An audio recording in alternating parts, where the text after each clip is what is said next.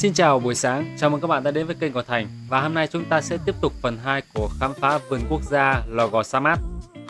Sáng nay ăn gì? Chắc chắn rồi, ăn mì tôm cho nó nhanh, cộng thêm cái xúc xích thì tha hồ sức mà đi bộ trong rừng.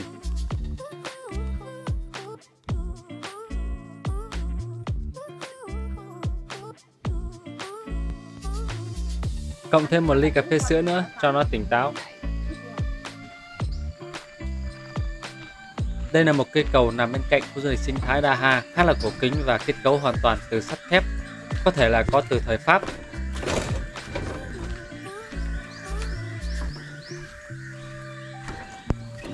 Cây cầu này bắc ngang qua dòng suối Đa Ha và đây chính là dòng suối chảy xuyên rừng Lò Gò Sa Mát.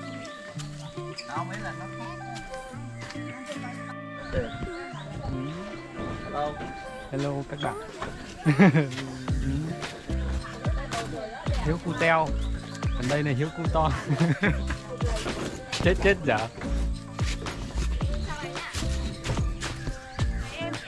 Lên chưa Tiếp theo nhóm của Thành đi xe máy tới nơi địa điểm để chúng ta trekking đi bộ xuyên rừng hoặc các bạn có thể thuê xe tại khu du lịch sinh thái Đa Ha và chúng ta đạp xe xuyên rừng luôn nhé. Đây là địa điểm dựng xe và check-in đi bộ, sẽ có người trông coi xe cho chúng ta.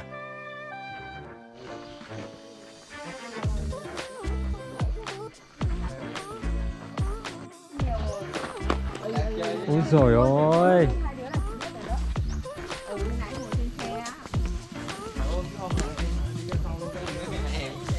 Tí tí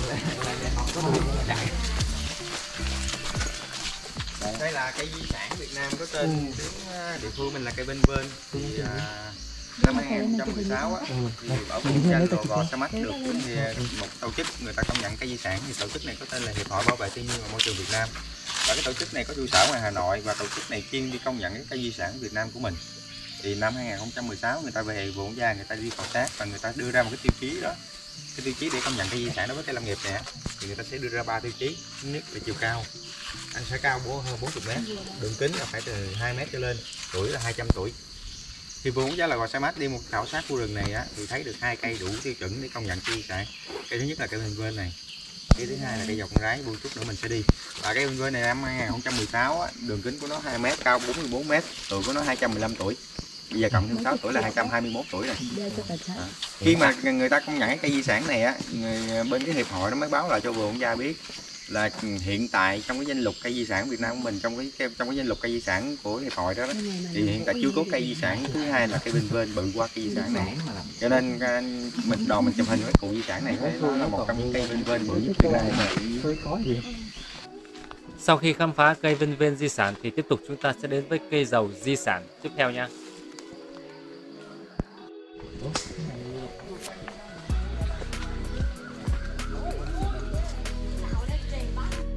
À à à. Thôi để thơm lắm. Đó đó hả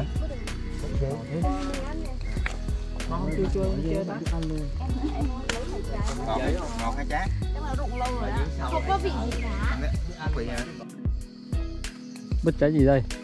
trái. Trái gì Trái xay. Trái xay. Đâu xem cái xay nào. Nè. Ăn ngon không? ăn có vị hơi ngọt ngọt một xíu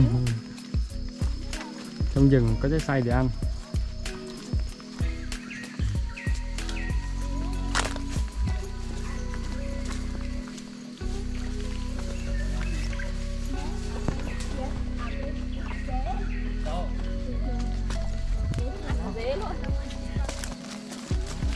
Kiến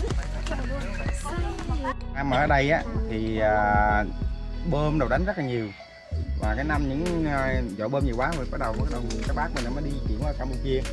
Khi mà quay trở ngược trở về lại á thì những cái nhà nào mà đánh sập thì thôi còn nhà nào ví dụ như chúng bơm nó cháy nó sẽ lem nhem lem nhem nhem và nó tự động nó tự tắt. Đó, cho nên cái lá này người ta sẽ làm để dùng các bác để làm nhà ở có thể là quân. Trung quân.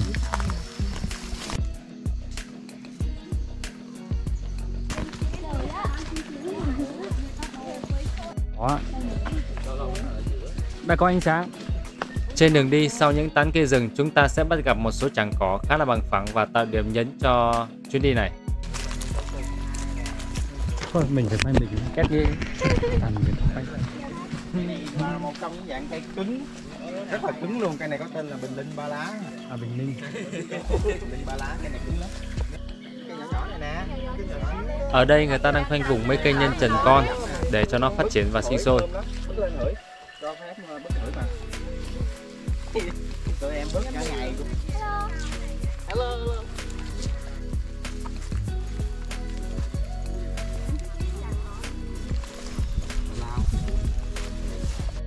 Em hết chloroform em không được gì hết.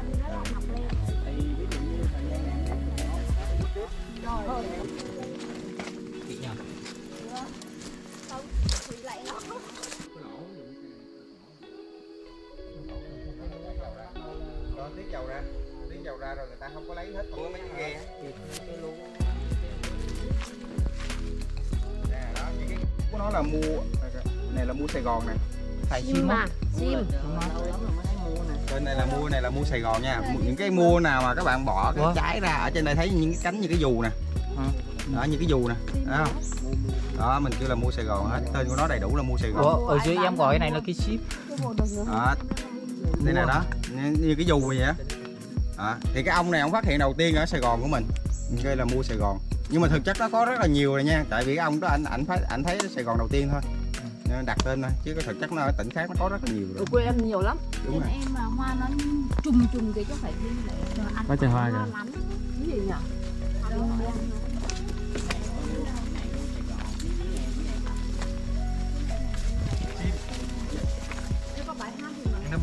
bỏ vào miệng hết đổ nước vào thì nó tan. sim nè dạ không. Hết. Này có phải là đâu được sim sim. Sim. em nghe lời anh này nha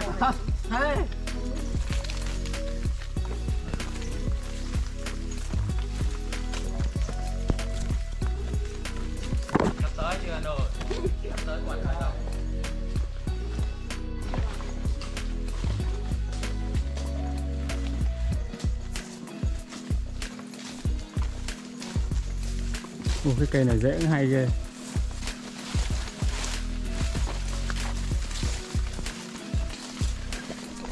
wow. Siêu to khổng lồ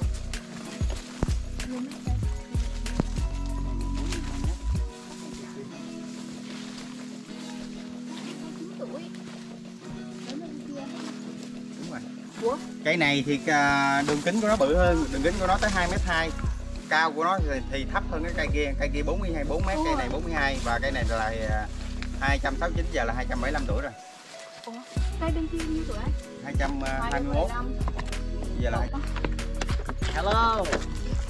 Đang đi đâu đây? đang đi về Đi về á? Chán. đoàn à, Đang đi mua rừng. đoàn chúng ta cái cái đoàn mình tên gì nhỉ Đang đi bắt cọp. Đoàn của anh Thành Cam đã đang từ à, từ à, điểm ờ, hồi nãy cây đó là cây gì cây à, Cây dầu rái, cây dầu con rái dầu con rái. Ờ. đã giờ đi đi ra lại điểm xuất phát ban đầu Đang vượt 4 km trở về. Đấy cái đoạn này đoạn này coi là đoạn gì chẳng có ha. chẳng Đây là- có, đây là một trong những cái chảng cũng không cỏ lắm chẳng có lớn nhất Đô Má. chị út ờ, dài đi tiếp của chị đã bị xúc ao sâu rồi Đây là người dẫn uh, trưởng đoàn. trưởng đoàn đang dẫn đoàn đi đi lạc.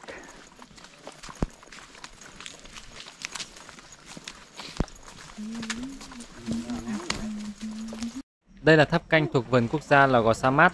Tháp này cao 33 m với nhiệm vụ chính là để nhân viên vườn trực chống cháy. Tháp gồm 7 tầng và 140 bậc. Ai mà bị tiền đình mà leo lên đây thì cũng hơi bị choáng váng đấy nha.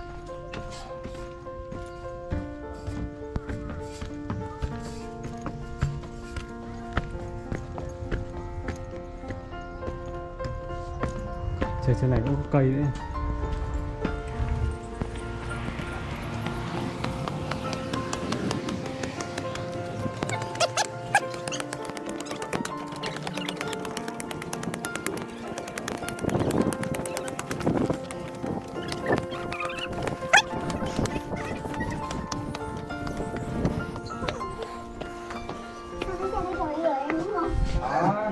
Thấy cái gì đâu?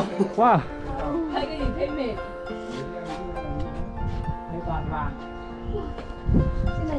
Campuchia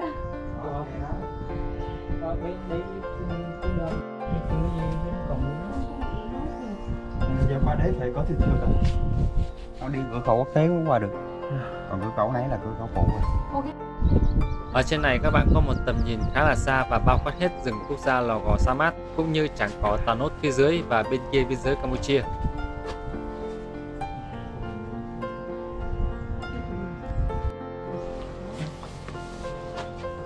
Này chị áo cỏ lung tung đi chị Với chẳng có Tà Nốt, đây là nơi các bạn có thể ngắm nhìn chim cò bay về.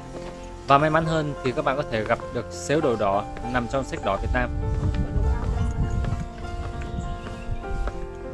phê nhỉ? cảm giác cảm giác nó nó nó, nó cứ quay quay quay quay á với cả mình đi quay nữa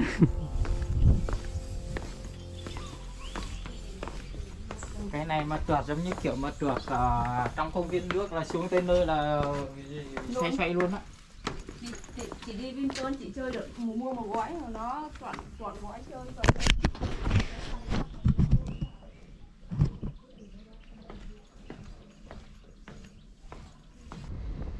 Đến đây thì nhóm Thành kết thúc chuyến hành trình đi bộ xuyên rừng và trở lại khu ờ, du lịch sinh thái Đà Ha để sử dụng bữa cơm trưa. Xin chào và hẹn gặp lại các bạn trong những video khám phá tiếp theo nhé. 拜拜。